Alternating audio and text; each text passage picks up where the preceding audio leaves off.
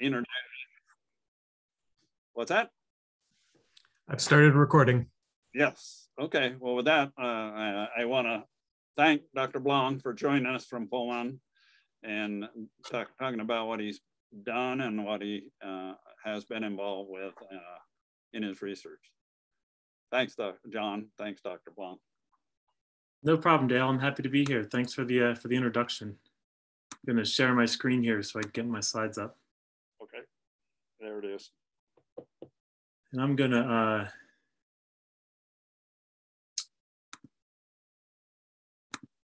There we go, share that. Wow. And I'm hoping you can see a nice picture of the Alaska Range right there. And I'm just gonna uh, put my slides into slide mode here and, and hopefully you can see my slides now. That, does that look good? Yeah. Yes. You can see my, my first slide there? Okay. Beautiful. All right. Um, so yeah, uh, Dale, you're right. Uh, after we talked yesterday, I, I, did decide to add some some slides in on my Paisley Caves research too, and so um, I'm going to kind of give you, I guess, a, a, broad overview of a lot of kind of things I'm interested in and, and research I'm doing. Uh, a good chunk of it is related to the the peopling of the Americas, and a lot of it's been focused up in Alaska. But obviously, the the Paisley Caves plays an important role too in that in that peopling uh, conversation. And so, um, you know, um, I'll say that I probably should have had a, a more extended title of my talk that also included something about the Great Basin, but um, I'm going to talk about the hunter-gatherers in the Central Alaska Range, but I'm also going to talk about uh, my research in the Great Basin and Paisley Caves too. So that'll be tacked on at the end. Um, and so just to kind of get this out here, when I, when I talk about the late glacial period, I'm talking about the end of the Pleistocene and into the early part of the Holocene. So roughly about 17,000 to 11,000 years ago. And this is the period after the last, glacial maximum um, and through the Younger Dryas and into the early Holocene. And this kind of this rapid period of environmental uh, change and um, uh, a, a, period where we see the first evidence, the first, you know, really solid evidence for people coming into the Americas, right? So um, this is an important time period for, for those of us who are interested in these research questions. So here's just a little outline just to kind of give us focused on, on where we're going. So I'm going to focus a lot of my attention on this work in the central part of uh, south central part of Alaska. You can see that, that outline there in, in the in the map in the bottom. Um, part of my research has been uh, kind of reviewing previous work and looking at museum collections, and I'm going to use that to build this case for what we know about the late glacial archaeology of the central Alaska range. And then I'll talk to you about some on the ground archaeology I've been doing, this field work in the upper Susitna Basin. Um, and then, as I said, I'll, I'll, kind of shift gears a little bit and talk about the work I've been doing at the Paisley Caves, looking at the evidence for early occupation there, kind of the timing of when people got there. And then also we've been doing some really interesting work looking at um, using these coprolites to, to look at diet during the Western stem tradition. So that again is that kind of late glacial period that's spanning the end of the Pleistocene and into the early Holocene. Um, and so um, I'll you know do my best to make some connections between this and uh, and uh, come to a, a, some conclusions at the end that kind of tie together my various strands of research. I'll just say too, I'm not only interested in the the, the late glacial period up in Alaska. I'll, I'll, talk to you about some of the middle and late Holocene archaeology I've been doing up there too. So um, you know, just a, a pretty broad range uh, temporally and geographically that we'll be covering here tonight. So to try to focus this a little bit, I'll just give you a bit some background about who I am. Um, you know, as Dale said, I'm, I'm, I'm an environmental archaeologist. I'm really interested in how humans and the environment kind of interacted throughout prehistory. Um, I'm primarily interested in hunter-gatherers in, in, in prehistory. Um, you know, one of the things um, uh, uh, uh, I'll say I got my start early on uh, on the East Coast. I grew up in New Jersey, and so I, I kind of cut my teeth on Eastern archaeology. I did do a master's degree actually on lithic, on a Clovis lithic assemblage from the Higgins site, which is over there in Maryland. Um, when I was in my PhD program, my advisor invited me to come up to Alaska to do some field work up there, and I basically kind of fell in love with the area up there and, and all the research potential, and kind of never ended up going back to the East Coast, archaeologically speaking, I guess. Um, but I've also done work in the in the Paisley Caves, uh, as Dale's mentioned, and I also have some some collaborations I do out in Siberia uh, with some colleagues um, and uh, working at the Kavrichka site. and that it ties into the to the work in Alaska because you know the folks that came into Alaska, uh, the best we know, kind of came from that area in Siberia, whether it be interior or the coast or, or somewhere around there. We're still trying to figure some of that out.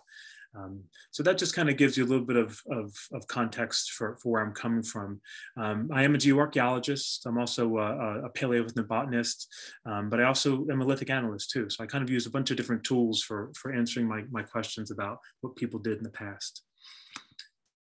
Um, the big picture context to try to organize the stuff I'm going to talk about today, um, I am interested in the peopling of the Americas.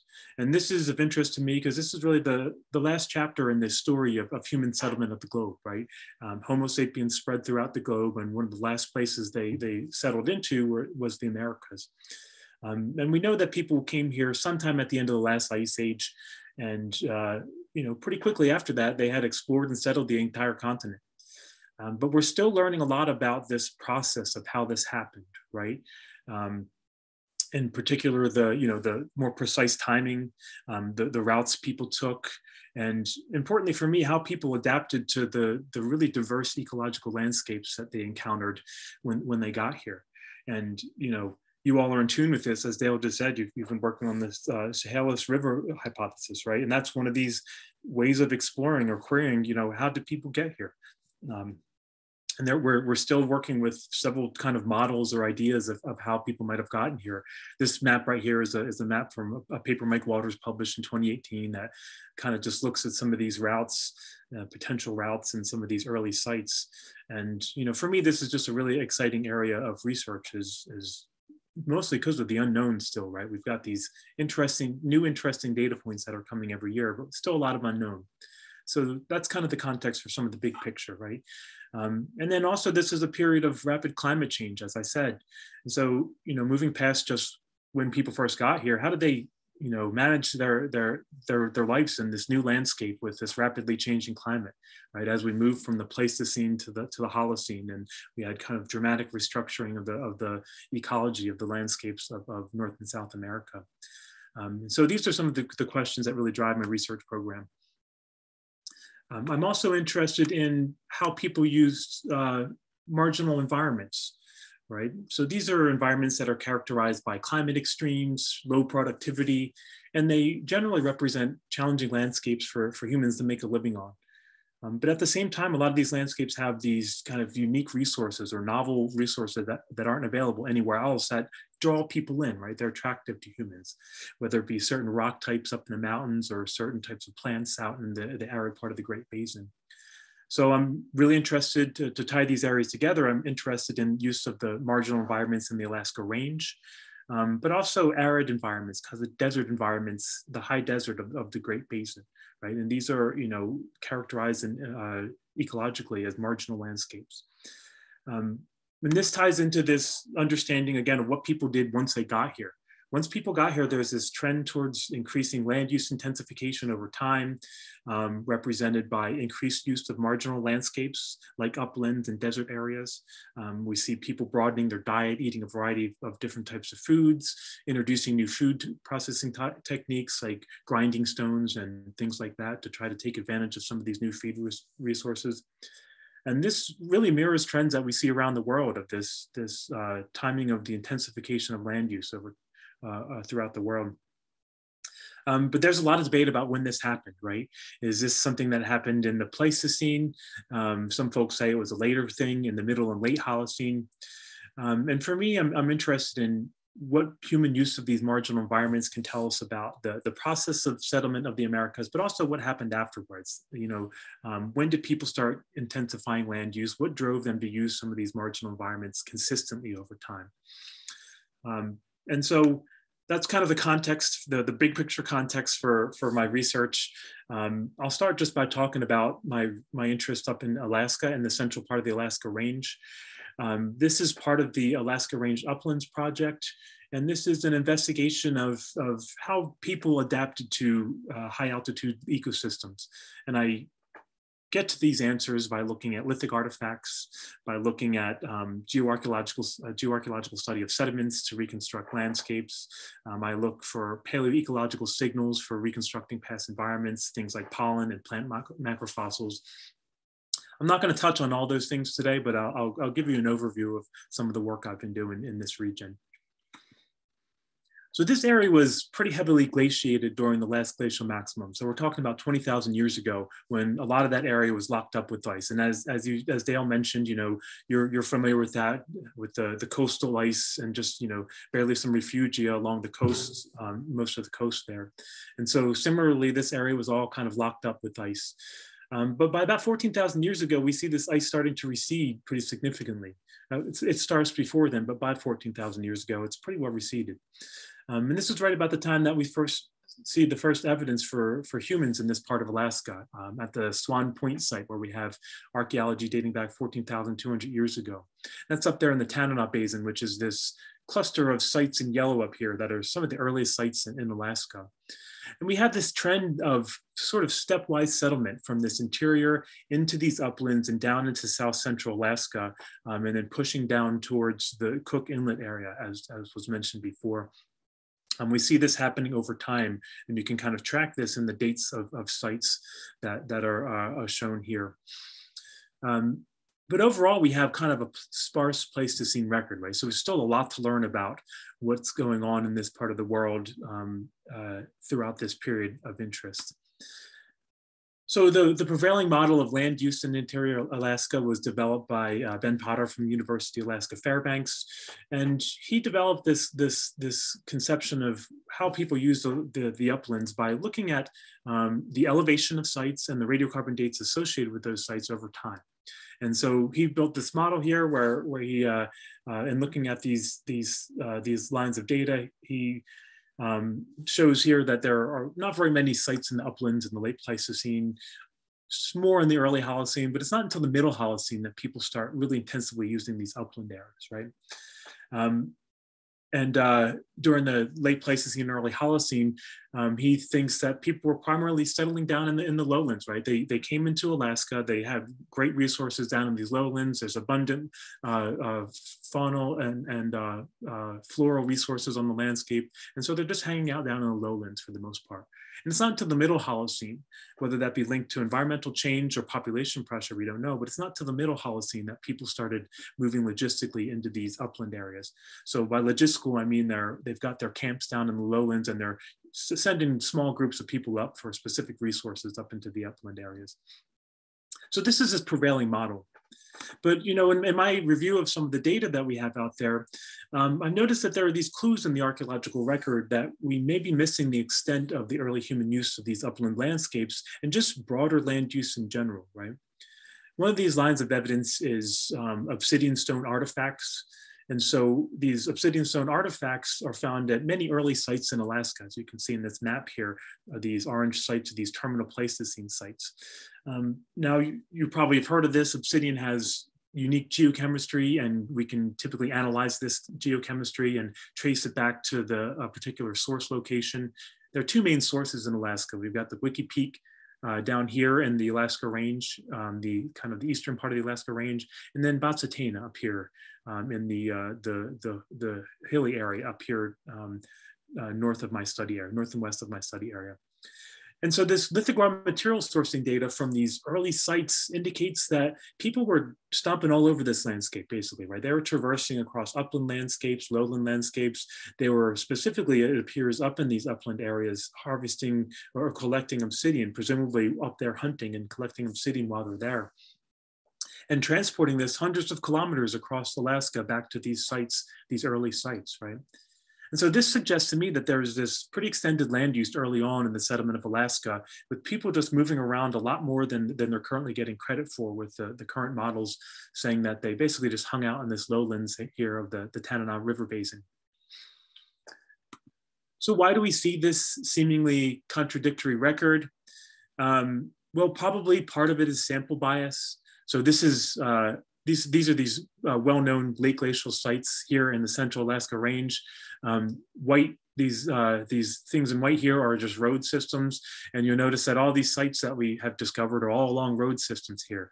The, the exceptions exceptions being um, these sites down here in the uh, in the uh, middle part of the Susitna, which were discovered as part of the Watana hydroelectric dam project.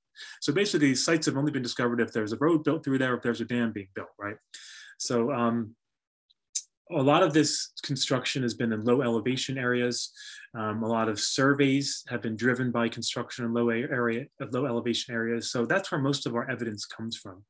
Um, there's been long-term academic research in the Tanana Basin here, and then the Nenana River Basin here. So all these things have really kind of um, overbalanced the, the lowland record, in, in my opinion, right?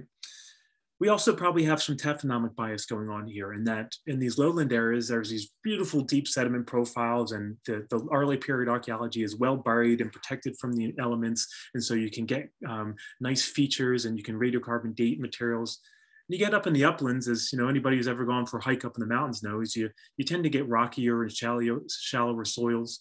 So sites up here tend to be either sitting on the surface and things like charcoal and bone are kind of weathered away or just you know degrade over time, um, or maybe they're shallowly buried. So it's hard to get dates for sites up here. A lot of times, what we just find is scatter of stone tools just kind of hanging out on the landscape. Um, and so I think that this is part of a, a, the issue too, is just this taphonomic bias. And um, so this kind of sets the context for, for my, inter my, my interest up here, right? Is, is for in my in my mind, we, have got this interesting evidence that that there's there's more going on than we give folks credit for, and it's just you know the the the record we have from the lowlands is mostly because of just you know survey bias. So my research questions are, um, you know, when did people really occupy the, the, the, Alaska Range? And this is essentially a geoarchaeological study, right? Going and looking for sites to date, um, finding places where there are deeper sediments in these upland areas. Um, I'm also interested in the environmental context of human occupation. And so for me, it's important to understand the environment to kind of give some context to human behavior, right? We need to know the environmental background um, so we can better understand changes in human behavior. And that's where the paleoecological research comes in. Um, and then I'm also interested, you know, moving past just the early settlement, what is the what was the nature of occupation over time? How did how did people uh, use this landscape over time? Um, and so, as I said before, this is uh, I use lithic uh, analysis for this, looking at patterns and lithic assemblages to try to recreate how people use the landscape over time. So I'll start, um, as I said, there's kind of two parts to my Alaska Range research. Part of it is just reviewing existing data, and I'll start uh, by looking at some of this. And this is research that I published in a paper in Paleoamerica. Um, and this is all previously published radiocarbon dates, and I just kind of compiled this. And um, you can see on the bottom here is this, this the dates going back. Uh, we've got dates going back to about 13,500 years ago, and pretty consistent radiocarbon dates across this late glacial period that I'm interested in. Um, so this distribution of dates, these are all sites up in the, in the uplands, late glacial sites in the uplands on the right here. And so when we look at these radiocarbon dates, we see evidence that this was a pretty continuously occupied period throughout the late glacial, um, a, a pretty continuously occupied landscape throughout the late glacial period. And, you know, it was occupied not too soon after uh, uh, um, not, not, too far from when people first started showing up in this part of the world, right? Um, Swan Point's 14,200 years ago. We've got dates about 13,500 years ago in the in the foothills region of the of the Alaska Range. And so this suggests to me that there really weren't very many ecological constraints on the uh, initial occupation of this area. No, there was no post-glacial hangover stopping people from coming up there. Um, it looks like people were getting up into the uplands pretty soon uh, when after they appeared on the landscape in Alaska. I'm just going to go through a couple of these sites here that are important. I've been working with some of the collections. These were excavated by other folks, but I've been working with the museum collections to, to try to get a better handle on what's going on with the lithic technology. The Rotorua site is an important one. This is um, not too far from Denali National Park if you've been, ever been up that way. Um, it's kind of nestled in this valley within the mountain region here um, at 640 meters above sea level. Um, it's got a pretty extensive lithic assemblage. There's uh, a lot of bifaces being made here, bifacial stone tools. Um, there's some bone fragments, just some generic bones that probably came from some sort of mammal, but also bird. So it seems like people were hunting bird here. Um, a couple of hearth features with dates at, around this Younger Dryas period here. Uh, folks at the site were uh, mostly producing and maintaining bifacial tools, and we've got various stages of biface production going on here. When they were at this campsite, they were picking up raw material locally, so they didn't appear to be coming in with a bunch of tools and and uh, rock needed for their hunting activities. They they kind of seemed like they they knew that there was good rock there, and they they knew they were going to a place where they could make tools while they were there. And this has been interpreted to be a short-term seasonal hunting camp up in the mountains. Another site, Carlo Creek, again excavated by, uh, this is excavated by Pete Bowers. Um, this is not too far from a road away in that upland valley area. Um, two components, but we're mostly interested in this early one that dates to the uh, uh, earliest part of the Holocene. Um, we do have caribou bone here, also Dall sheep, um, and also uh, squirrel, ground squirrel uh, bones from this from this site. So it appears that all those uh, animals were on the menu when people were here. Um, again, we have hearth features with some uh, some charcoal that dates to about this the end of the uh, early part of the Holocene there. Again, really invested in producing bifaces here. Um, it appears the, these bifaces have wear that appears that they were using as chopping and scraping tools, but they were discarded. They're these pretty heavy, uh, robust bifaces, and they appear to have been used and just discarded. Again, this kind of indicates that folks, um, well, they're using local raw material again. This, this rock is very common throughout the assemblage and it's available just right behind the site. So it appears people were pretty comfortable knowing when they came up here, they had good rock available and knew where they were going, probably had more rock because they, they just made these tools and just abandoned them, it appears. Um, and this is interpreted to be a short-term logistical resources extraction camp um, based on the, the animals that were found there. Uh, it was probably occupied in the late summer or, or fall period. So this indicates that there's some seasonality to occupation here. Um, the, the Tangle Lakes area, which is a little bit further on the south side of the, the Alaska Range, uh, not too far from the Susitna Basin where I've done a lot of my field work. There's a couple key sites here. Whoops, sorry about that. There's a couple key sites here. Two of these are the Phipps site and Whitmore Ridge. And so these, these are sites that are located on these um, high areas around the, the Tangle Lakes here. Um, at the Phipps site, we see some uh, a move away from bifacial technology, people are producing microblades. These are these tiny little ra stone razor blades that we think will probably inset into bone uh, projectile points. So they're kind of like these little razor blade edges on these on these bone points. Um, we've got charcoal dates that place this around the uh, end of the Younger Dryas and into the early Holocene. And then there's a site nearby called the Whitmore Ridge site um, that has two components. Again, we're interested in the earliest one for this talk here. Um, some microblade technology, also some biface manufacture going on here. So kind of a mixed bag of assemblages here. And the microblades are, are interesting because when we see microblade technology, um, well, let me preface this by saying there's a lot of debate about what microblade technology means, but one interpretation of it is that people are making these microblades in advance, uh, these microblade cores, as kind of preparing to go do a certain activity. Maybe not not being so confident in the raw material resources that are there. Uh, they're they're uh, um, you know bringing high quality raw material with themselves um, to to to these locations. And sure enough, we see when we look at these assemblages that the for example, at Phipps, the the most of the flake debitage from you know tool production is on local material, this local argillite rock. But the microblade material is on this non-local chert, this really high quality kind of glassy looking stuff that was brought in from elsewhere. Um, we also have some obsidian and we've sourced that to a source in the Talkeetna Mountains, which is 100 kilometers southwest. So that's even getting further south. So, you know, if we're talking about how far people were moving down towards the coast um, uh, at this time during the Younger Dryas, and we've got evidence that, that they were down in the Talkeetna Mountains, which is, you know, getting pretty close to the Cook Inlet. Um, uh, and moving obsidian from there back up again. So again, just more evidence that people are moving around these landscapes more than we give them credit for. Um, so, you know, there's some specialized activities going here. We've got these burins down here in the lower left that are typically used for engraving, um, for either engraving wood or, or bone. Um, and those are probably tied into the use of these microblades. So creating these inset stone razor blade tools. Um, and this is interpreted to be a short-term activity camp, probably occupied during the wintertime. In contrast a little bit with Whitmore Ridge, where we've got, again, we have local production of, of bifaces on these, using these local materials. Um, and again, we have uh, non-local chert. Um, but the biface production is much more dominant here. So the folks at Whitmore Ridge were focusing a lot more on collecting local raw material and, and, and making bifaces, probably for, for hunting up in, the, in these upland areas. Um, we think that these bifaces were being used as part of an atlatl system, maybe for hunting uh, Dall sheep or caribou up, up in this area. And then finally, the, the, the last example I'll, I'll, I'll, pull up here is the, the Jay Creek Ridge site. Again, we see local raw material procurement. So this is kind of a theme, right? Where people seem to be pretty comfortable with the local raw material resources. They know what they're getting into up here, except for in a couple examples where microblades are, are, are showing up on exotic chert, we see that, that people are, are taking advantage of local rock sources when they're in the uplands.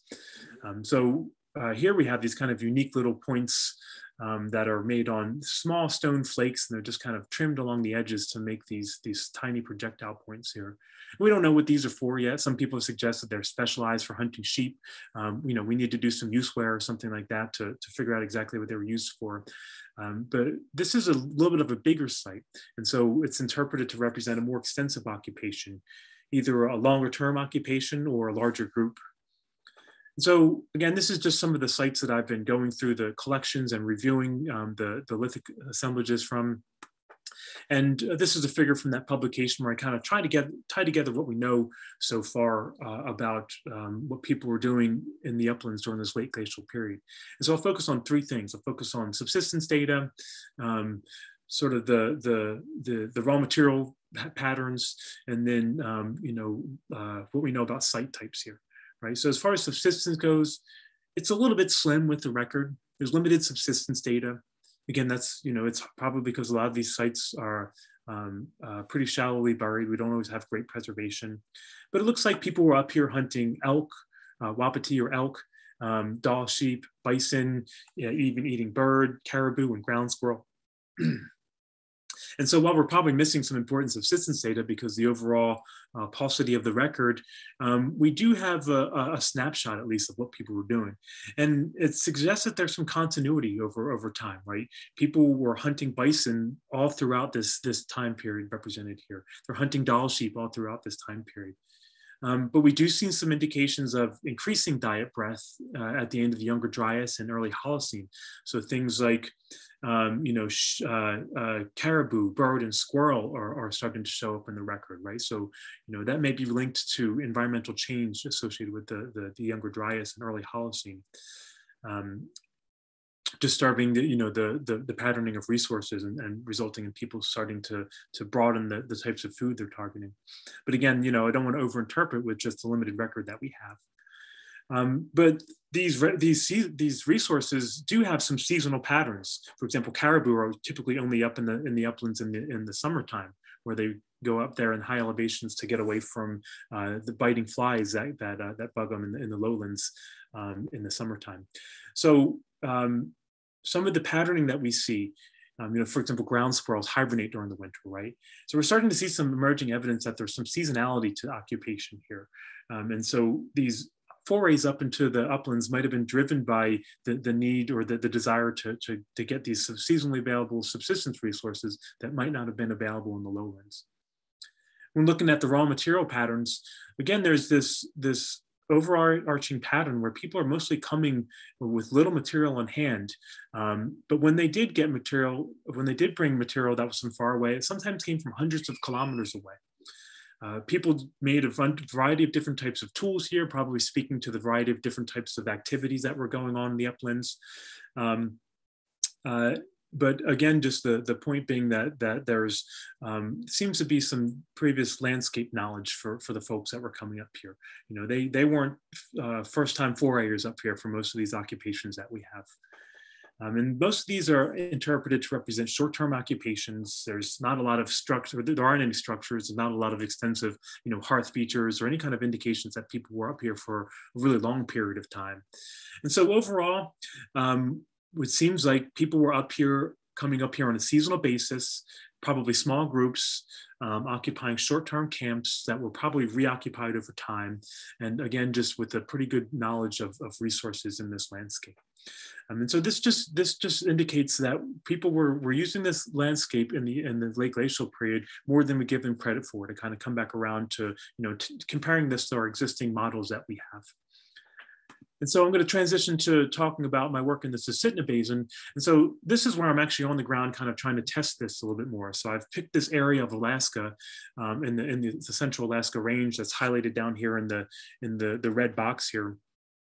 the upper part of the Susitna River that does drain into the Cook Inlet. So it's kind of a, uh, the uppermost parts of that river, but it does wind its way all the way down into the, uh, the Cook Inlet area. And so this is where I'm on the ground kind of testing these ideas, trying to excavate sites and, and, and find evidence for, for um, early occupation here. And I'll, I'll, give you a little spoiler alert. We haven't found any really old sites here yet. The earliest ones, like, like Dale said, are about 11,000 years old in this part of, the, of Alaska. Um, but this is an ongoing uh, uh, research project up here. And so just applying this, this, this same, these same questions, you know, interested in when people got to this area, um, what was the context of this occupation and, and how did occupation change over time? And this is an interesting area to me because we've got all these different kind of upland landscapes in, encapsulated in one area. We've got these broad upland valleys like you see here on the left, that's the Susitna River right there. It's pretty heavily braided because it comes uh, out of the Susitna glaciers not too far from there. Um, we've got these rolling hills with these shrub, uh, shrub birch landscapes. And then we get up in the upland areas and the proper, you know, mountain peaks. And we've got these high alpine areas. You can see the caribou um, coming up in the snow patches there. Um, so, you know, this potentially represents the, the full range of upland landscapes that people would have exploited in the past. This is also interesting because this area was completely glaciated 14,000 years ago. And so it kind of sets this, this there's like a, a reset then, right? So it, 14,000 years ago, um, the glaciers recede and um, this, this area opens up for, for human habitation. And so I'm interested in when did this area become habitable and what can that tell us about how long it takes landscapes to, to recover from glaciation? Because obviously that's something we're interested in with glaciated landscapes uh, all throughout the, the, the Northwest coast and understanding how people utilize them as glacial ice receded in the Pleistocene. So a big part of this is going out and just doing geoarchaeological resource research, looking for landscapes where we find deeply buried sites. Um, so just doing some initial survey and testing. Here we found a, a, blowout on this sand dune, and this dune does have pretty deep deposits. And so this is the kind of area that we're really interested in, right? This has potential for, for buried archaeology here. And I'll return to this, this dune area in, in a couple slides here. Um, so this is a map of the study area that, that I've, I've kind of focused on. Um, from our work up there, we found 20 previously unrecorded sites. And so we found a lot of archaeology up there. Um, 12 of these we thought were worthwhile excavating, so we excavated 12 of them, and 12 of these had buried deposits. And so this is part of the, the fruits of this geoarchaeological study was identifying areas where we had buried sites that we could date and we found evidence for early through late Holocene occupation. So, you know, a couple sites right at that Pleistocene Holocene boundary, and then occupation throughout the, the, the Holocene period. So I'm just going to give you some, some of the highlights. There's these three sites here that, that are uh, some of the more important ones that we've excavated up there. The Susitna Dune area, Susitna River 3, and then Butte Creek 1. This is that Susitna Dune region that I, I showed you uh, surveying the blowout. Um, this is important because you know there's some archaeology here, but even dunes are even great just for reconstructing past environments, right? Because they're they're they're a record of wind speed and sediments over time. Um, the, they oftentimes capture evidence for soils forming. They capture they they preserve um, things like charcoal that you can use to radiocarbon date uh, events throughout prehistory. Um, and so these are really key for understanding uh, post-glacial landscape recovery, which is one of my interests, as I said. And so these provide evidence for, uh, you know, the high wind landscape about 14,000 years ago. This is as those glaciers are, you know, have their last gasp in this area and are receding. Um, charcoal from this dune suggests post-glacial landscape recovery at least by 12,200 years ago. And we did find a cervid uh, mandible um, associated with some lithic artifacts that dates to about 11,000 years ago. And this is that earliest, earliest site we have there. So this suggests that, you know, um, so this is either caribou or elk. It was too degraded to, to be sure which one it was. So, you know, by about 11,000 years ago, uh, definitely uh, there's caribou or elk up here. There's humans hunting up here. Um, but probably uh, before then, there was um, uh, a habitable landscape up there. Um, so this really gives us good information on the timing of post-glacial landscape recovery and the earliest evidence for, for people up in this area. Now, most of our sites look more, more similar to this. They're more shallowly buried when you get off that dune. Um, this is the stratigraphy from Susitna River 3, and this is pretty typical for the study area. Um, it has this archaeological record spanning the Holocene. Um, so sediments are shallow, only about 35, 40 centimeters deep. Most of the sediment here is actually deposited, uh, a tephra that's been deposited. So you see kind of this bluish horizon here, and then this kind of rusty to tan horizon, then this white horizon. Most of the sediment that's been deposited up here is just these, you know, these specific events of, of tephra that's being deposited from volcanoes down in the Cook Inlet region. And these have these regional names, the Oshetna, Watana, and Devil tephra. And I've done some geochemical work that I'm not going to talk about here um, to characterize these. And I know that these have chemical signatures that match up pretty well with these established tephras. Um, and so this is important because these kind of give these time slices, right? We know when these tephras were deposited, so we can use these to kind of chronologically uh, uh, sort out all the archaeology that we're finding as we're digging. Um, and so we find at most of these sites, we see these stable surfaces represented by soil development. Um, kind of hard to see here, but there's a soil that formed here. There's another one that formed on top of this Oshetna tephra. Uh, there's another soil that's formed here. And so the story at a lot of these sites is that we've got landscape stability and people are living here. Um, then we have these, you know, punctuated periods of tephra fall. Then the, the landscape stabilizes again and people are living on that landscape and then tephra fall and then, you know, stabilize landscape again and people are, are, are living there. Um, at this site and many others, we find occupations kind of sequence into these three cultural components representing this early Holocene, middle Holocene, and, and late Holocene occupations here. Um, so this is again part of this geoarchaeological study is just figuring out how these landscape forms and, and, and what kind of information we can get about the chronology of people living here based on excavating these sites. I'm also, as I said, uh, looking at, I've looked at lithic uh, uh, artifacts from these sites to try to get a, a, better picture of how people were using the landscape, not just when they were there, but how, right? Um, and so I approached this from a technological organization um, uh, study approach. So this is a way of, of, using stone tools to assess how people are using the landscape. Um, so I've looked at lithic assemblages from six sites, from nine cultural components at six sites. Um, just uh, going through different attributes of the lithic assemblages to, to try to characterize um, uh, differences and similarities over time and use this technological organization approach to understand uh, human adaptive strategies over time. And I'll just give you the, the overview of this, this uh, the results of this analysis here. Um, we see changes in lithic raw material use over time, uh, indicate that, indicating that there is probably more permanent occupation of the uplands in the middle and late Holocene.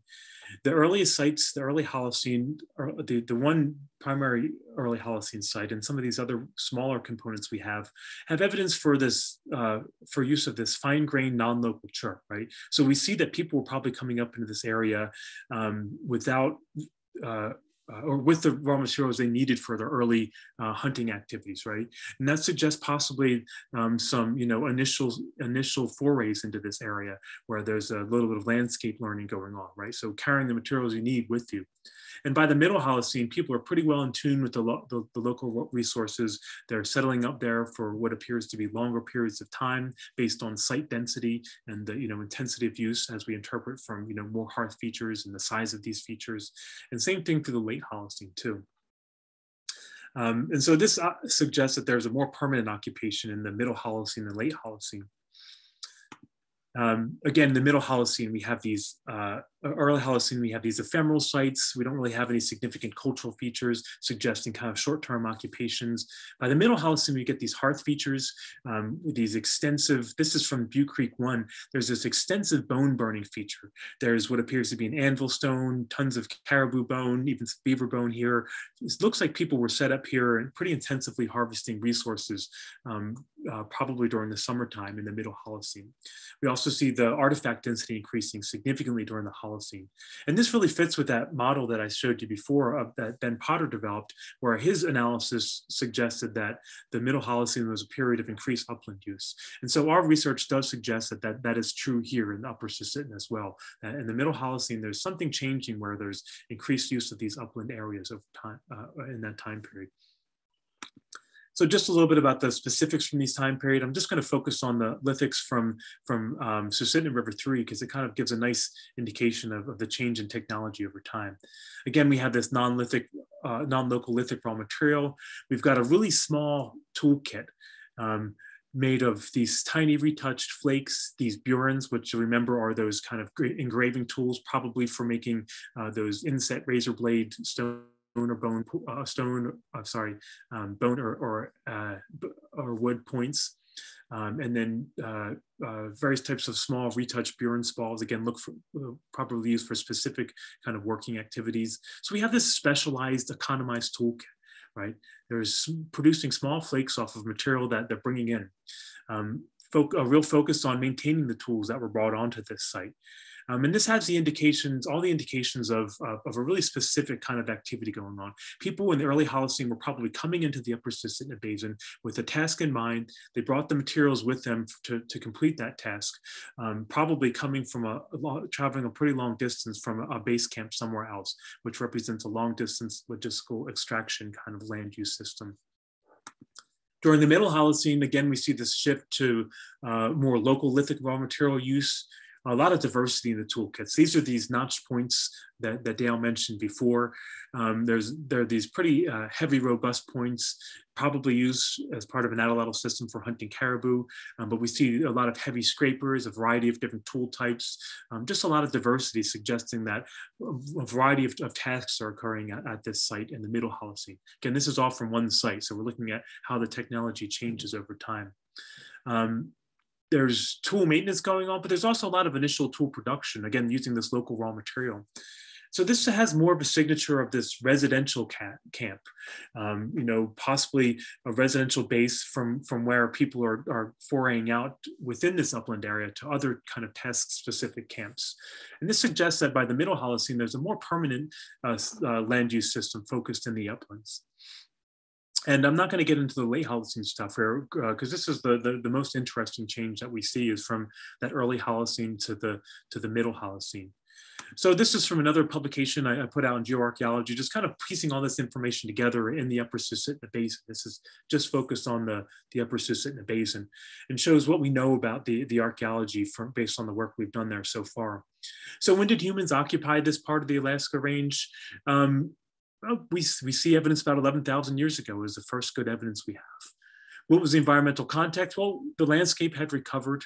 I've done some paleo environmental research up here, but we haven't gotten cores that are old enough to capture this time period. The work I've done mostly just captures the, the middle and late Holocene and suggests that the, the vegetation was pretty similar to what it is today. Um, what was the nature of occupation over time? Well, we've got these ephemeral kind of initial occupations. And once this middle Holocene, early to, to middle Holocene period hits, we start getting much more frequent occupations. There are more um, intensive occupations. Um, and then this, so this Watana tephra is the most significant tephra fall we see. And after that, occupation drops off a little bit. Um, and so it looks like there's pretty robust occupation in the middle Holocene, but after the Watana uh, tephra fall uh, occurs, um, people kind of abandon this area for a little bit. Now, granted, we need more we need more dated sites. We need more information to to securely say this. But these initial indications are that people uh, abandon this area, and so this is important because we're talking about you know kind of uh, were people using the uplands, yes or no? Well, what we're learning is that there's kind of these shorter scale um, environmental uh, uh incidents that are influencing whether people use the the uplands. And so, you know, models like Potters are really interesting for kind of setting these big picture things. But once you get down on the ground and start testing these models, you find that there are these kind of particular things going on in some areas that are influencing change on shorter time periods, uh, on, sh on, shorter time scales. Um, and so in general, this counters, this research counters this prevailing model um, that folks in the uh, the late Pleistocene and early Holocene were sticking mostly to the to the lowlands and just kind of moving the residences around the lowlands. We do see evidence for logistical um, land use pretty early on in, in, the central Alaska range. And again, the, the, raw materials suggest that people are familiar with resources in these upland areas in, in some cases. Um, but for sure, we do see a change in, in intensification in, the middle Holocene period. Um, so, you know, this is still a work in progress. Um, I'm still exploring this, these areas up in the upper Susitna Basin, and I'm going to expand to other areas in the Alaska Range. Uh, but this is kind of the state of our knowledge as we know of it now. And so now I'm going to, you know, do a little bit of a 180 on you, and I'm going to shift gears to my, my research in the Paisley Caves. Again, still grounded in those big, big picture ideas about um, the initial peopling of the Americas and use of marginal landscapes. And so I know you're familiar with the, the Paisley Caves, so I'll just kind of go through some of these side slides, giving some background, but won't dwell on it too much because I know Dennis has probably done a better job than I can talking about this site since it's his site. Um, so the Paisley Caves are located up here in South Central Oregon. Um, here's a picture of me doing uh, some vegetation survey, just collecting, excuse me, plant samples in this area back uh, a few years back. Um, there's a series of caves along this, and these were all kind of cut into the side of this, this Paisley Five Mile Butte uh, in the Pleistocene period. Um, there's evidence, as Dennis told you, of people going back 14,500 years ago or so, and all the way through the historic period. There's a series of caves here, but I'm just going to talk about the work we've been doing in cave five down here in the bottom and, and cave two down here in the lower right. These are where some of these oldest deposits have been, have been recovered at Paisley Caves. Um, you know, as you know from Dennis's work, there's a really interesting uh, organic record, and that's related to the environment of these caves, right? It's really hyper arid. There's really good organic preservation. Um, there's uh, these deep sediment sequences, like you see here in Cave Two, uh, representing the most of the end of the Pleistocene and early part of the Holocene. And um, as I was saying, you know, in the uplands, we sometimes struggle to get wet, uh, deeply buried materials. But if you can get deeply buried materials, you're usually going to get really good chron chronology because you get uh, occupations happening and then they're buried by sediments kind of sealing them off over time. so of interest to, to my research is this Western stemmed occupation that is really well preserved down here at the bottom of this sediment profile. This is a close-up in the lower left of uh, what Dennis has called the, the botanical lens. Um, and this is associated with this Western stemmed occupation dating between about 12,900 and 10,800 years ago. And there's just all kinds of, of, of goodies in this, this botanical lens. There's uh, wads of pronghorn hair from people preparing hides. There's sagebrush matting. Um, there's um, all kinds of interesting organic preservation, um, including things like uh, insect um, uh, remains, the earliest evidence for, for bed bugs associated with, with human occupation in the Americas. Um, this is some of the cut pronghorn hair, again, representing people preparing hides and cutting off wads of pronghorn hair with, with stone tools. Um, we get things like cordage dating back 12,000 years ago. And of course, with great uh, uh, organic preservation, we get coprolites, right? And the, the famous Paisley Caves coprolites um, that have been reported around the world these coprolites have been somewhat controversial, right? There was they did uh, human, uh, or they analyzed DNA and recovered human uh, uh DNA from these um, in a publication that came out in 2008. And this was a big splash at the time and provided evidence for, um, you know, pre pretty solid evidence that was considered at the time for pre-Clovis occupation of the Americas. But you know, as as happens with these papers, there was a couple of rebuttal papers that came out that kind of started picking apart the arguments, and there was essentially this kind of debate that was ongoing in the archaeological community about you know which side you were on with the Paisley Cave stuff. And that's where our project kind of comes in. One of the things we're interested in is applying new techniques for understanding um, uh, uh, this early occupation there. So two project goals, you know, looking at the timing of the initial occupation of Paisley Caves, but again, moving past just when people got there, really interested in how people were living their lives at, uh, during that initial period and in the uh, late glacial period as well. So um, I work with some really talented geochemists based over in the UK that do biomolecular analysis. And I'll give uh, my next slide, I'll give a little bit more detail on, on, on how they approach that. Um, but we're doing sedimentary analysis. This is us collecting uh, blocks of sediment that we are creating, uh, that we that we use to create these microscopic thin sections. So we can look at the sediments under a microscope and see how the site was formed. And we're also in, engaged in a long-term uh, study of, of a, a, large sample of coprolites from this site to reconstruct um, diets over time. And so I don't know how much Dennis shared with you of this. This paper I think was probably out by when Dennis came to give his talk, um, but I'll just give you some overview of this. Uh, again, these organic, chemists that I work with um, are looking for these um, biomarkers in the feces. And these are just these complex organic compounds They're much more stable than DNA and less less mobile in sediments. So one of the criticisms of the Paisley coprolites is that it, the, the DNA that got there probably came from above and was washed down into the coprolites from a later period occupation, right? But we don't expect that these uh, biomarkers that we're using, these fecal biomarkers, would be mobile like that in the sediments. There's two particular types of fecal biomarkers we're interested in, these 5-beta stanols and bile acid biomarkers. And when we see these types of biomarkers in the coprolites, we know that they're human. Humans produce these, this unique combination of fecal biomarkers. So when we see these, we know they're human. Um, they're produced you know, you're all familiar with cholesterol. Your doctor probably tells you don't have too much of it. Well, cholesterol is uh, transformed into coprostanol in the gut, right? And coprostanol is one of these biomarkers that we can detect um, in, in the feces that indicate that it's um, uh, it's one of it's one of these major 5 beta stanols in human feces. So when we see large amounts of coprostanol and, and these bile acid signatures, we know that these are human uh, feces. How do we analyze these? Well, we take little samples of these coprolites and we analyze them by gas chromatography, uh, mass spectrometry. And, you know, this is a whole other area of expertise that, that I, I am just continuing to learn about by working with these organic chemists. But just to say that, you know, you get a readout that looks something like this, and it tells you, um, you know, the intensity or how much, uh, what proportions of some of these fecal biomarkers are present in your sample. And you can see here that this is a, this is a sample that has been identified as human because it has this spike of coprostanol. And so we, we analyze all this, the samples like this and look for these specific spikes that indicate that these are humans. And as a result of this, we were able to, to conclusively say that people were at this site in the pre-Clovis period. This is the paper that um, I should update this. This was actually published uh, in, in the journal Science Advances.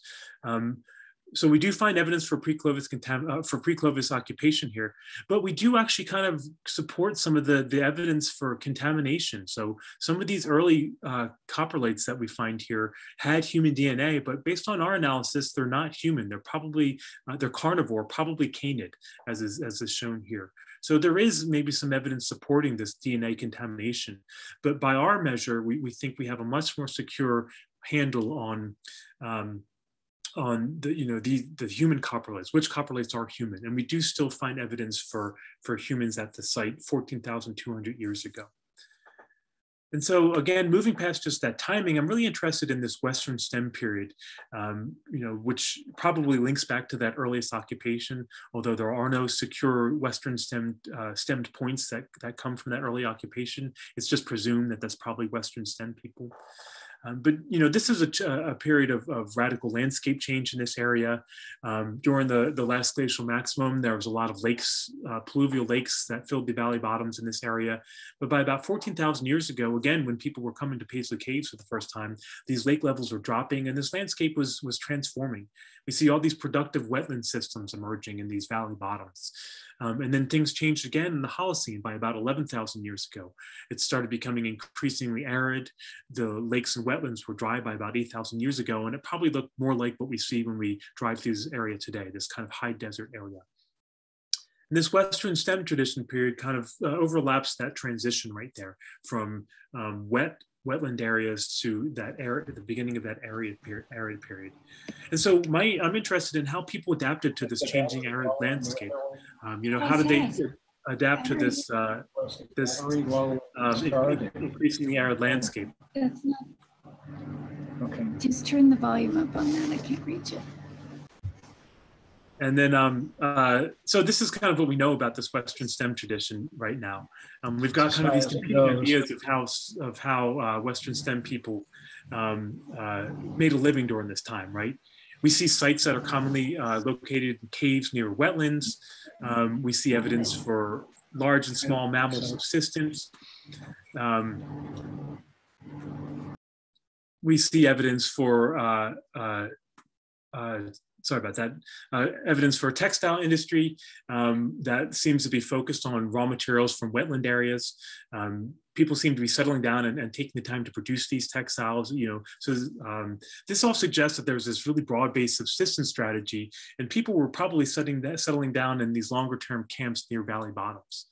Um, so this is based on the you know subsistence data and textile data. But then we get to looking at the, the stone tools and we see that these tools are found all over the landscape again, you know, up into these high elevation areas. There are these large projectile points with impact factors suggesting that people were using them to hunt large mammals. Again, we look at the lithic raw material sources and these raw materials are coming from hundreds of kilometers away. Um, and some people interpret this to represent more of a narrow subsistence strategy of people that are, you know, they, are not staying down by the, these, these uh, wetland areas. They're actually moving around a lot more um, and, and, living in short-term camps for parts of the year. And so there's kind of these contrasting lines of evidence. And I'm interested in, in trying to figure this out. What was the nature of this, the Western stem diets? Was it narrow uh, subsistence focused on large mammals, or was it this broad-based subsistence incorporating a lot of different types of resources? And I'm also interested in whether we can identify season of occupation at the Paisley Caves to kind of speak to whether people were there year round, or whether they were there, uh, um, you know, just on a seasonal basis. And that's where this coprolite research comes in.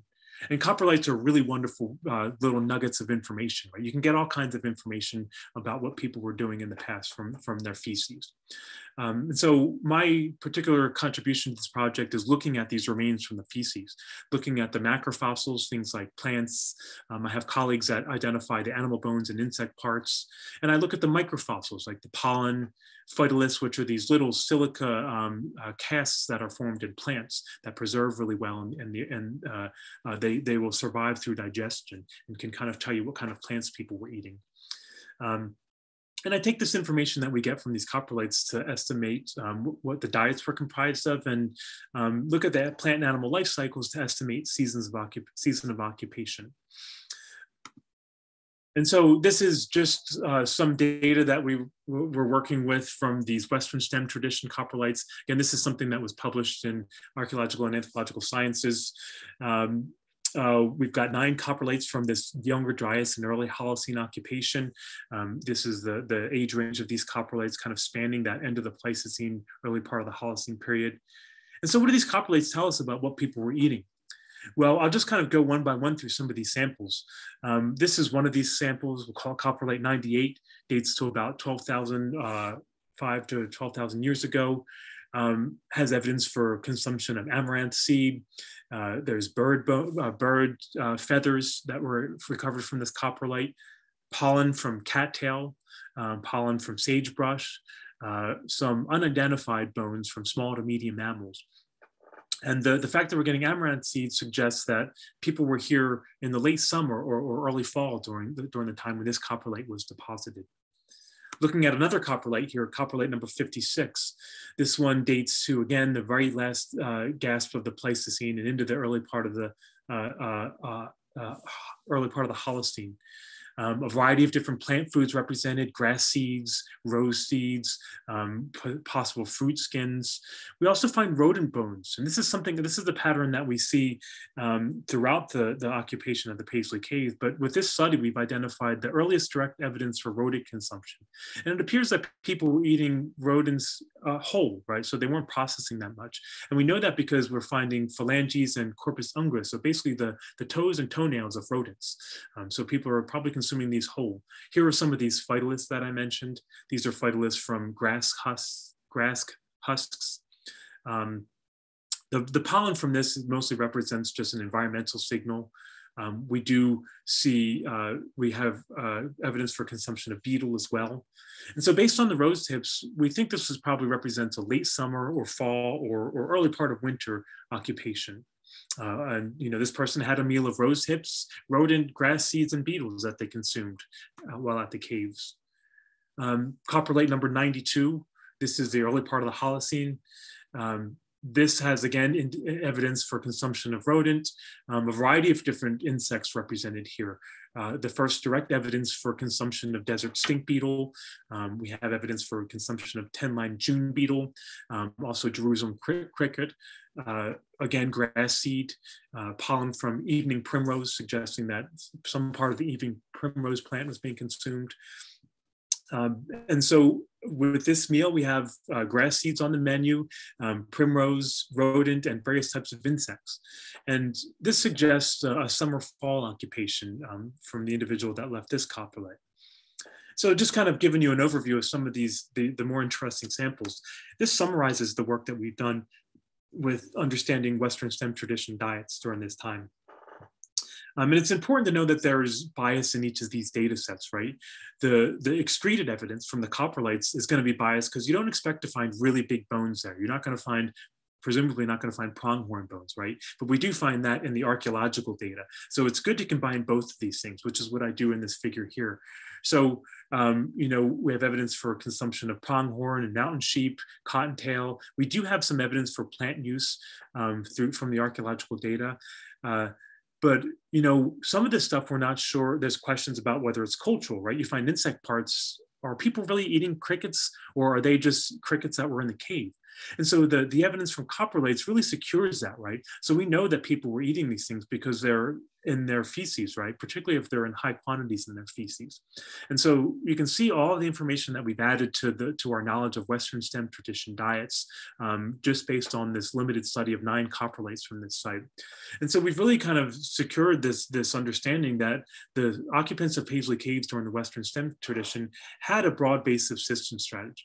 Now, sure, they were hunting some large mammals like, like pronghorn, but they were also consuming a wide variety of different types of resources. Um, and so these challenge these models of early subsistence and, and really highlight the importance of plant foods during this initial peopling of the America, right? Um, we're, we're, often so oft, we're, we're, so often focused when we talk about peopling of the Americas on, on what kind of large mammals people were eating. But we've got this growing body of evidence that plant foods are, were just as important, right? Um, and now we're actually finding the solid evidence to, to support that through studies like this. So just to sum up our work there, um, we've we've really highlighted the dietary diversity during this time period. Um, this shows there's just these uh, uh, nine, these nine samples that we've that we've uh, analyzed. Um, evidence for occupations primarily in the fall and summer, some spring and winter, but primarily it looks like um, people were at the Paisley Caves in the summer and fall, which kind of speaks to this broader land use pattern. Probably not settling down year round here, like some models suggest. They're probably, um, this is just one part of, of a seasonal land, land use uh, pattern. Um, and again, just to, just to, to, to, speak to the variety of food items that we're, we're having evidence for, for people eating. And to, so to, to try to, um, you know, project what we're going to go with this in the future, we're still working with some coprolites. We're looking at how diets change over time. Um, I'll say that the Middle Holocene samples I'm working with show that there's a lot more seed diversity, which speaks to that, that those questions I was interested in of uh, intensification of land use over time. We see some evidence, some preliminary results from the Middle Holocenes uh, coprolites suggest that people are more intensively using plant resources. Um, we're starting to see some other evidence of non-food plant consumption. I found a wild tobacco seed from a late Holocene coprolite dating to about 2000 years ago, right? So evidence, interesting evidence for, for things other than just subsistence, right? We're, we're getting at um, psychoactive plant use uh, at, at this site here. Um, we're also doing the various types of other types of various types of other analyses, looking at isotope analysis, um, analyzing parasites from the coprolites to get at uh, other questions of diet and health. So lots of work to do still with, with this site, and I'm excited to continue working with Dennis on this project. So in summary, I'm going to return to those research questions that I said guide me, right?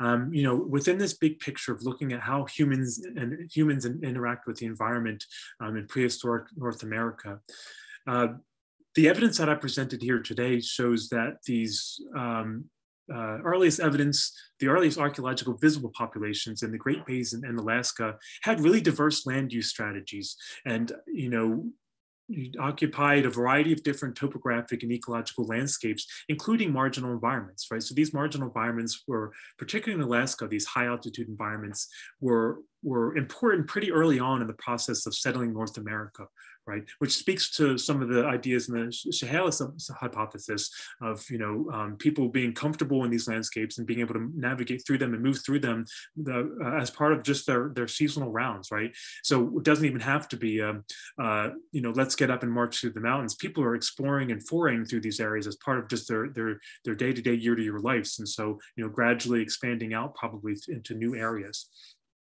I mean, again, this kind of counters this idea that, that people were relegated to specific areas in, in these early occupations of the, of, the, of uh, Alaska and the Great Basin. And we also see from the evidence I presented in Alaska and, and the preliminary evidence in, in the, the Great Basin that um, these marginal environments appear to have been used more, more intensively during the middle and late Holocene, um, both in the Great Basin and, and Alaska, right? And this supports this global trend of increasing Holocene land use intensification over time. Um, and so uh, one of the bigger picture questions I'm still, you know, seeking to address with my research, kind of long term, is really getting nailing down what the factors are that are driving these changes over time. You know, this is just ongoing research that I'm engaged in, um, and the bigger picture context for this. Uh, you know, really getting to, to, to understand these these these things, how these changes happened, um, are really going to help us understand the impacts of modern climate change. How is climate change going to impact our modern food systems, um, particularly in small scale subsistence based societies? There are still Native Alaskan groups in, in, Alaska that depend on subsistence activities, right? They're, they're still getting a lot of their, their calories from, from season to season from hunting and, and gathering um, up there. So there are still people that, that whose uh, food systems are going to be impacted more significantly um, than, say, your average American um, who will just see higher prices at the grocery store, right? So I'm interested in how this can be applied to, to kind of the modern situations as well. Um, and, you know, I, I would just close by saying that we really need to explore uh, late glacial human behavior on a variety of different landscapes and really expand our search for, for where these early people were, were, were, were living and, and, and foraying into to, to, to get to a better understanding of how this process of settlement occurred over time, right? And that's why I think that this is this research really ties into, on a big picture, the Chehalis uh, River hypothesis, right? Um, you know, areas that people haven't really paid enough attention to, but we need to start focusing on to, to, to get a better picture for how this process happened, right? Because we get too locked into areas where we know we have some good data and we keep digging there and we think, seem to think that that's the, the, the, the, the center of the universe of, of, the peopling of the Americas, right? But just getting out and exploring some more areas is gonna really help us understand a little bit better um, uh, how how people moved into this country. And so I'll just close by saying that that this is my kind of my goals of my long-term research again, agenda is really to study these questions and, and get a better understanding of the this process of the peopling of the Americas. So um, just one last slide here, just to acknowledge my collaborators um, from around the world, mostly the UK and the US, and just the, the, the funders that have supported this research. And I'm, I'm happy to answer any questions if anybody has them.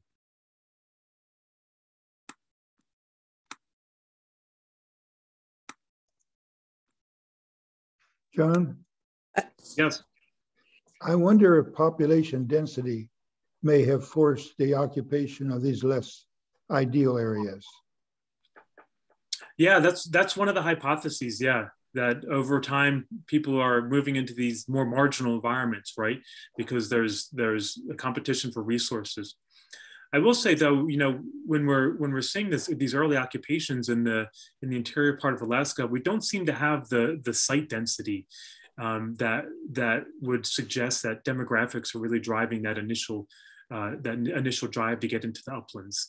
Um, I would say that probably when we see, start seeing that real intensive occupation in the middle Holocene, um, you know, still work in progress trying to understand that, but I would say that that's that there's probably a link there with demography. By that point, people are you know the populations are growing in, in, in interior part of Alaska. People are settling in the landscape, and probably territoriality coming into play there. And um, so, yes, I would agree that, that that's driving some of that in, in the middle Holocene, at least. Another question I have for you is the frequency or occurrence of salmonids and salmon in your Alaska highland areas in your study area. Yeah, and so the, the the salmon don't actually run that far up there. They they kind of cut out um, uh, middle part of the Susitna River, so they don't actually get all the way up into that area. Um, and it's kind of interesting. So the the you know the descendants of of the the prehistoric people that I study are, are the Ahtna, right? And so the the Ahtna are kind of separated into different clans, and and the the Western Ahtna are the ones that uh, that consider my study area their traditional territory, and they're kind of known as the caribou hunters, right? And their their their cousins, the the the, the other uh, uh, groups of Ahtna are more of the salmon. They're they're more focused on the Copper River area, and they're more kind of known for their their their focus on salmon subsistence. And so it seems like in that area that I'm doing the, the field work in up in Alaska, it's more of a, of a, of a long-term um, focus on caribou up there. That seems to be what people were doing up there is, is, is going to hunt caribou. Um, but they, there's been some really interesting research pushing back the timing of salmon use on uh, in the, mostly in these lowland areas. Um, they look, they've got some interesting isotopic evidence for, for salmons going pretty far back. Um, but but just to say that that in my specific area, we don't have that evidence yet. It seems like caribou hunting is one of the main drivers in that region. Okay. Thank you. Sure. Anne, uh, you can put your Yep. hand up too. And I'll Yep. check. Yeah, sure. Thank you. Hi, Anne. Um, hi. Hi, everyone. Uh, Hi. wonderful talk. I really enjoyed it. Thank you so much. Thank you you. still have, you still have two feet of snow in Sitka? No, it's already melting off, of course, Oh. that maritime climate, you know. Yeah, so we'll probably get more tomorrow and then it'll be gone by Saturday. yeah, so we'll enjoy it while we can. Um, well, you know, your your thoughts on, you know, expanding our ideas of um, you know, the peopling of the Americas. I, I love that. I'm definitely a trans-Pacific migration gal over here in Sitka in Southeast Alaska. And Yeah. I wondered if you had any uh, thoughts of um, uh, or interest in uh, some of Ackerman's work uh, in Glacier Bay and, you know, like the Groundhog Bay site that's uh, it's a shell midden, but um, you know some of the older sites around Southeast Alaska. A lot of work, uh, refugia um, studies that Baichtal's doing on Prince of Wales Island, and you know some of that good work. You know, um, we I, I feel like if we did a little more, if there was a little more interest in Southeast Alaska, we'd find a little bit more in some older sites. So um, yeah, I'm always interested in people coming to Southeast. Yeah, there, there's a lot of interesting stuff there. You know, there's a there's a PhD student that, that's up at University of Alaska Fairbanks named uh, Nicholas Schmuck, and he's he's working down there right now too. He's really interested in in that that early archaeology down there. And I mean, I'd love to get down there. I just haven't had the opportunity to. I'd, I'd love to explore some of those those you know those those refugia area. So for my mind, it'd be interesting to do some environmental work down there and try to you know uh, pin down where we might have some of these refugia, and then start going and looking for archaeological sites down there. yeah Um, so yeah, most of my work has been just focused on the, the central part of Alaska and the uplands areas. Um, Mhm. But um, you know, I've got a lot. I've got a long list of things I want to do in Alaska over the rest of my career, and so that's Yeah. getting down there is definitely one of them. Oh, yep, yep. Well, if we could just go to some of Ackerman's sites and uh, relocate some of that and expand on that, that would be really cool. Yeah, I think so, and that's one thing that um, you know, uh, as Dale mentioned, I've um, you know I've reached out to Bob, and we've had a couple communications, and um, you know I think he's been going through a lot recently with with in the past couple years or so. But uh, but uh, we've got some plans to to kind of connect, and and um, you know I just took on a PhD student who's interested in Alaska research, and I want him to be involved and working with some of Bob's stuff too. And so so yeah, there's some some long term plans there to. If Bob's willing to to share his knowledge with me, I'd love to to get up there and do some of that work. Awesome. Uh, I do have one more question. Yeah, Um, sure. The, the Paisley Caves and the Coprolites, do you think that if, this is way out there, if they're um, eating uh, rodents whole, that they might be hungry or eating, you know, crickets, that um, it would indicate that they were hungry or starving or just, it's just, or, you know, and the diversity, I guess. I mean, they're like Yeah. eating. every- Yeah. Yeah, so you know, usually when we see that stuff, if we're, if you know, there's a kind of a, a, a theoretical approach to understanding diets that says that you know it's like beh- human behavioral ecology that says that you know the only time you should see things like that that are kind of what, what they would have like they would characterize as having a basically a low energy return for the for the amount of time you're you're taking to get the food, right? The only time we should see that kind of stuff, according to this, this perspective, is when the, the big stuff is, is hard to find or is no longer the landscape, right? If it's if it's if if you're if you want to go out and hunt an antelope and it's going to take you six days to find one, then you're going to have to eat something in the meantime, right? Until you find that. Yeah. So there, there is an argument to be made that that perhaps we're looking at some some shortages seasonally. Um, but I'll also say that you know if you read the ethnographies, there there's uh, there's evidence that people were eating uh, rodents, and you know it's not necessarily based on the ethnographies linked to to to, to starvation foods or, or, or shortages. It's just um, you know it's just considered more of a common part of the the uh, the the food. One one interesting thing is that um, there in some of, you read some of the ethnographies and some of it is just kind of children hunting. You know, they're they're like uh, hanging around in the caves and smoking out. They're just you know setting little traps or smoking out rodents or something. And yeah. um, you know, I don't want to project too much on on you know my ideas of food or whatever, but I can imagine a, a you know a mouse getting thrown in the soup or something if it's if if, if if a kid comes comes back with a mouse, you just throw it in the soup or something like that in the in the boiling pot. Um, so you know we still have a lot to learn about the role that these foods played. I would say that insects are an interesting one because insects are actually very nutritious, right? They've got a pretty good uh, protein return and they've actually got some interesting micronutrients.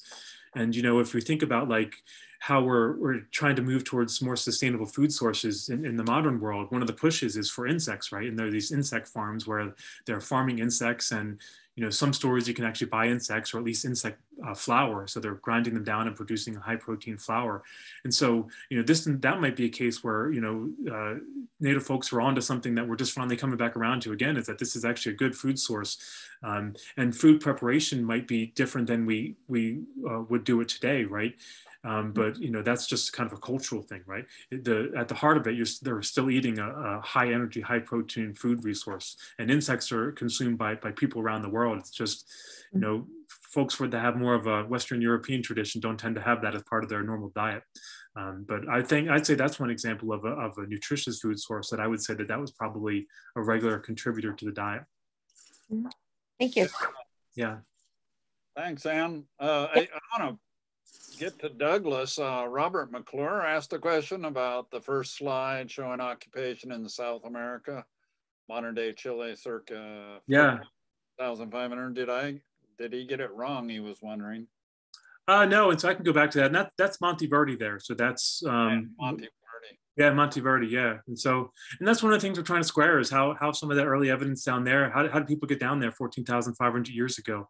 Um, and you know, certainly, if, if, we're looking at 14,000 or 14,200 occupation of Paisley Caves, well, that's that's after that, right?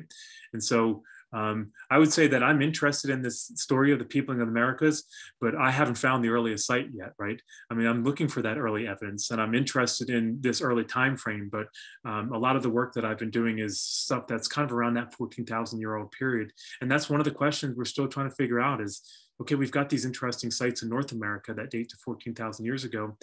Well, how does that square with, with Monte Verde down there in South America earlier than that, right? And that suggests that, well, you know, we've got um, sites like Cooper's Ferry that, that you know, that, that may date to about 16,000 years ago. We're starting to date things back to 15, 16,000 years ago. And more and more archeologists are kind of on board with that 15 to 16,000, those 15 to 16,000 year old uh, sites.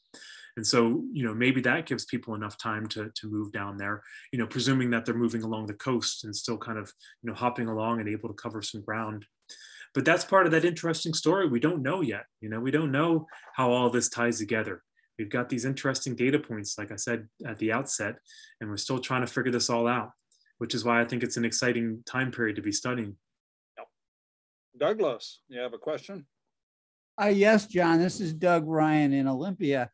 Um, I, I, had a question about the seasonal occupation of the cave, Paisley Caves. Yeah. Um, in East Africa, even in modern times, nomadic people like the Maasai move their camps about every three months. And one of the reasons is because of the buildup of manure from their cattle and sheep, mm. that the sites become, there's too much disease and flies. And, and, and they don't come back to a, a site for several years. Natural processes have done away with the manure. Uh, would it be possible that those Paisley caves might have become uh, unfit for occupation from the coprolite after several months? And yeah, I just let it, you know, go away, you know, uh, and only come back and reoccupy it after natural processes have cleaned it up? Yeah, and there's some really interesting stuff with that during that Western Stemmed tradition, that botanical lens. And there's some ideas I believe that Dennis has published on about, you know, maybe it's kind of a messy cave with a bunch of stuff laying around. And so people are taking sagebrush and they're breaking up the sagebrush bark and, and making like a bedding, almost kind of refreshing the floor or something. I think that's the way Dennis characterizes that as kind of placing down some flooring. And so, um, yeah, we would presume that there is you know, that there is going to be, well, th there's preserved organic material even today. So we know that those coprolites are going to be preserved there probably the next season. One thing that's interesting about the Paisley Caves is that there are several caves there, and we just don't have the the, the ability with the radiocarbon dating to get at you know year by year occupations. It may be that people are in one cave one year and they don't go back to that cave for another several years, but they were at the, the next cave over or something. And and we also don't know if they're living in one cave and you know it's only a few minute walk to the next cave. Maybe the next cave is where they were going to the bathroom one year and then they switched the, the, the following mm-hmm. year. Mm-hmm. So so yeah, absolutely. There are some some things that that to consider with with um, you know um, that may explains the the you know the seasonal use patterns that we're seeing there. So e- even then, sanitation may have been a factor in their lifestyle. yeah, absolutely, absolutely. Yeah, you would presume so, right? I mean, mm-hmm. um, you know, there's presumably there, there's there's some conscious decision making going on there about about uh, you know avoidance of, of feces close to food and that type of stuff. Sure. Thank you, John. Yeah, thank you. D- David Munsell here again. One of the things I noted in Ecuador in small mountain villages is the lack of outhouses, but the presence of dogs and pigs They ran freely. And dogs were typically used to clean babies' bottoms and uh, to eat the feces off of the ground.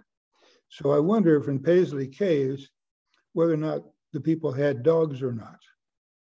Well, that's a really interesting question. And that's something that we're working on. I'll tell you from my analysis, we're getting some really interesting signals. So we're doing this analysis, the, the uh, biomolecular analysis, and we can tell whether it's a human poop or a, a carnivore is, is, kind of the, the, the, category, but we assume canid.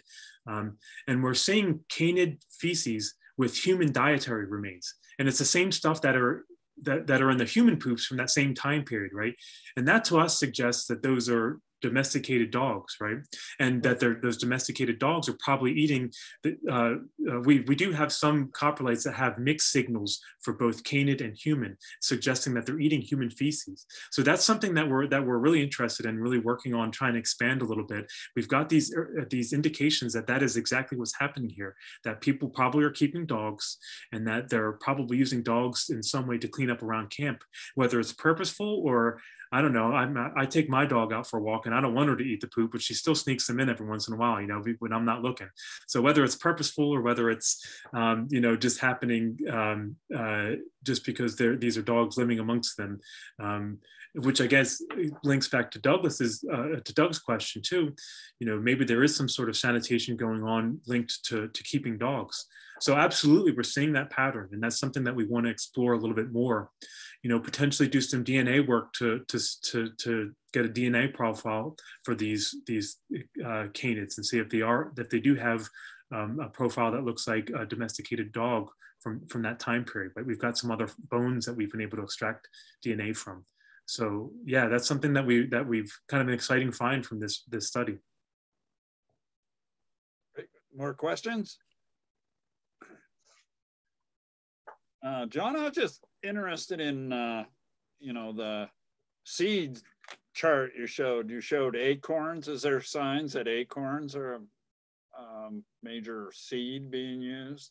Oh no, sorry. That that was probably a little misleading. I was just looking. You know, you put a, a little. a little yeah it was just the, the the most recognizable kind of seed icon i guess i if you just put like a little seed up there people wouldn't know what it was like so i kind of just use that as a yeah okay. so so no, we don't we don't have any evidence for acorns. Um, that would be interesting. Obviously, that's more of you know you get that more on the the coastal yeah. areas. Um, we we don't have that. Um, you know, we've got some pinyon showing up in, in later period in, in the coprolites, and actually we've got some some macrofossils in the in the actual archaeological deposits in the early Holocene too. But but uh, but no no no no acorns there. We had a lot of acorn in Mud Bay and Sunken Village. Just caught my interest. The other thing is, do the insects ever have signs of burning on them uh, from the coprolites, like they've been roasted or fried or anything? Yeah, you know, that's something that our, our insect analyst is still working on.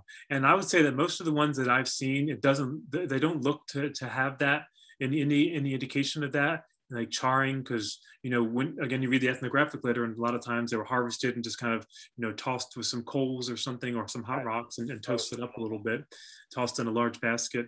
And um, i would say that from from you know i'm the one who picks them out of the the poop and then i just put them in containers and send them to him. But i haven't seen any regularly patterning of that. I think i've probably seen some here and there that might have some some kind of reddening that looks like burning or something but um, a lot of the stuff we've been seeing, it seems to be, uh, uh, they don't seem to be uh, toasted at least or, or, or, roasted. I see. Other questions? I'm going to throw in another one. You said fungus and uh, parasites. Maybe this is way off the wall, but you, how about bacteria? Do you, do you find bacteria in the coprolites of some sort that might be a signature? You know, there are some people that are doing some interesting research, and that kind of links in again to, to genetic type stuff. There's, you know, there's people that are extracting genetic profiles from um, like gut bacteria in coprolites now. And so there's some really interesting stuff looking at the gut microbiomes of, of prehistoric hunter gatherers and comparing that to modern populations. Of course, our gut microflora today are, are a lot less diverse and um, kind of a product of our more homogenized Western diet. And so, you know, eating things like diverse range of plants and rodents and insects, I think probably um, uh, led to, or the you know symbiotic relationship with gut microflora that enables people to extract a lot of uh, uh, resources out of, a lot of energy out of these resources. Um, that that uh, uh, you know again also these eating these diverse ranges of resources supports a more gut, the more diverse gut microflora. Mm. So yeah, so th those type of bacteria, absolutely, they're profiling those with DNA right now. Oh, I see. It'd be interesting to see how uh, abundant or how if they were very healthy in terms of their their bacteria array. Yeah, well, the, the, the early evidence that we've had from a couple of these studies that come, that have come out are that they do have much healthier gut uh, micro uh, microbe profiles than, than most of most folks living today when they compare them to to, to living living people today. And it's again, I think that's just the product of this kind of diverse diet, very high in a, in a variety of different types of fibers. Um, that's one thing I find a lot of is just a diverse range of fibers in, in, in the coprolites, uh, plant fibers. And so that's one of the keys for supporting um, diverse uh, uh, gut microflora is, is, is diversity of fiber right? You, I don't know. Doctors always tell you you need eat fiber and eat diverse ranges of fiber, right? Well, these people were doing that for you know um, not because their doctor told them to, because that's just because of the type of resources they were eating, and so their their their guts were were uh, better equipped to to eat that kind of uh, of fiber. Other other questions? Doug, did you raise your hand again, or is that still up from before? Uh, I think I think it's from before. Okay. And I I guess I have another on insects. If if the animals were going to the highland to get away from the the biting flies, I think you said, or yeah, yeah. you know, would people do be doing the same thing to get away from mosquitoes? I've, I, you know, even at Mud Bay where we worked, it was a bad mosquito problem, and then it was up the Skeena where we we would go up uh, from uh, Prince Rupert to camp. Uh, we had some real mosquito problems. I don't, is anything going on where people might hit those higher areas at that time, not only to get the resources, but would it? yeah, it might have gone hand in hand. You know, there's a lot of times I've worked in the lowlands and the uplands in Alaska, and there's a lot of times I'm grateful to be up in the uplands uh, in the heat of the summer because the, you know, the the mosquitoes are just form a cloud around you down in the in the lower areas.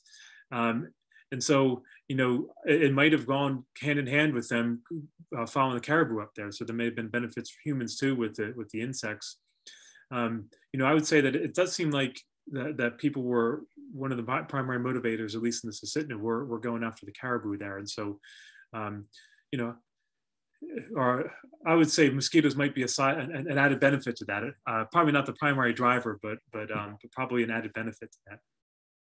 Hmm. Okay. Other other questions?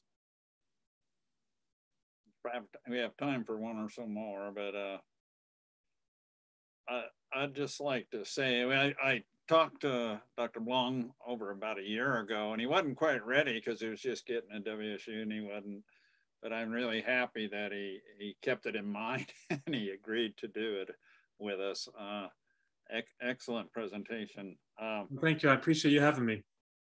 yeah, and I, I like your idea. I, I, I've worked with Robert Ackerman like Ann has, and uh, he really keeps his stuff organized. So I'm sure if you got together with him in his lab, he would, he would uh, thrive. Him and he would lo- really enjoy that.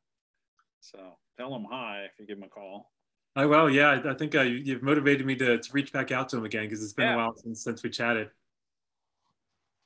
Okay, well, we certainly, we certainly thank you and uh, thank you for uh, letting us record this. Uh, people are very uh, ex- happy with the dog. I see from the comments. Thank you.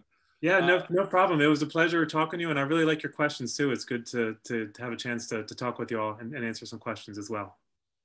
Right. All right. Well, thanks so much. And I, really appreciate you working with us on this and, and working with you in the future. Yeah, no problem. I, I hope to see you all again. Okay. Yeah, and tell others it's recorded so they, they can see our YouTube channel. I will. I, to, I told my dad. And you may want to use it. Yeah, I was, I was gonna say. I told my dad it's it's uh, it's too late on the East Coast now for him to be watching this, but I told him uh, he could watch the recording later. So, Who's that? uh, my my father is. Oh yeah, right. Uh, yeah, it's, uh, Shannon's probably pretty excited about the tobacco you found at about. Yeah. 2000. You're- Yeah. Shannon is Yeah. faculty member works with pipes. yeah, that's a, that's one area that we're looking to collaborate on in the future. Okay, well, thanks so much and have a good evening. And I think you're about it. You're about done with finals or you're pretty close. Uh, next week is finals week, so yeah, we're getting it. Oh, okay. Well, good luck with that. Thank Have a you. great Break. Uh, Yeah. Happy holidays to everybody. Happy holidays. Yeah, Bill. Happy holidays. Thank you. Yeah, See you. Bye. Bill and I are the Santas here. Okay. Good night. Good night.